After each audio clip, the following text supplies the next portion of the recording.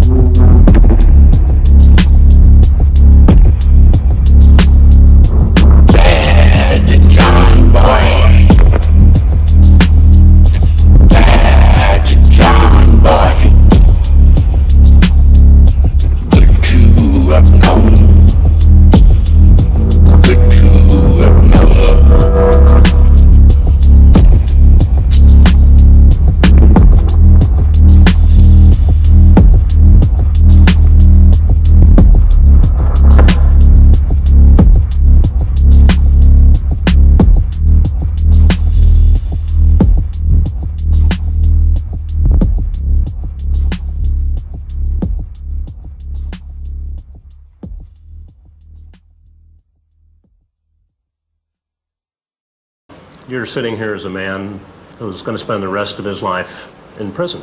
You've confessed to murder of six young men in this city and crimes that uh, horrified the city and much of the country. You've confessed to, in various degrees, felonious restraint, drugging people, sexually abusing them, torturing them, killing them, dismembering them. And until now, you've uh, refused all interviews. So, in light of all those facts, I have to ask you uh, why are you here? What is it you have to say to us? What is it you want to say about yourself in this case? Well, I've had the media clamoring to get interviews with me. And after I made my last pleas, I wanted to get at least part of my side of it out. I've found it very hard to find any way to do that in Kansas City. The media has so biased my case, portraying me as being non-human, and their motivation is no separate from what the way I treated my victims. I treated them as something less than human, nothing more than a play toy or a play object. This is what the media has done to me. It's dehumanized me so that it can believe, along with the public, that things like human sacrifice, Satanism, demonic practices, are more believable than me being the neighbor next door who reached a point in his life where he could do monstrous acts. That's not the same thing as being a monster.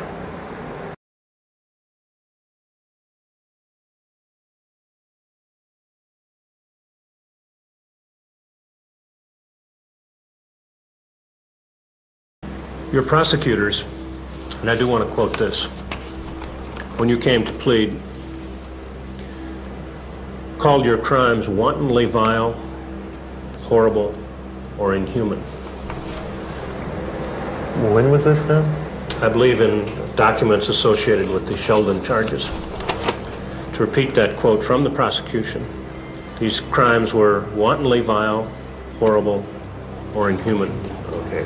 I think if you check with just about any attorney, you'll find that that is the standard clause that's used when they went to build a case for capital one with the death penalty. Without the legalism, would you agree that those crimes are wantonly vile or inhuman? I won't disagree.